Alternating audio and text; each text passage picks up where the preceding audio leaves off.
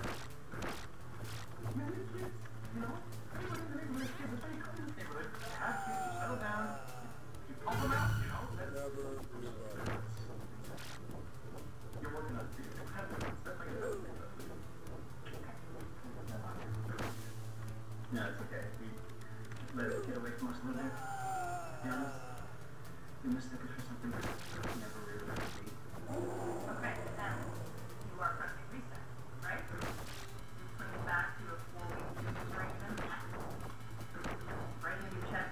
Yeah, exactly. And we say Izzy went back to Syracuse with her mother and my sister. Yeah, I'm sure this murky gumbo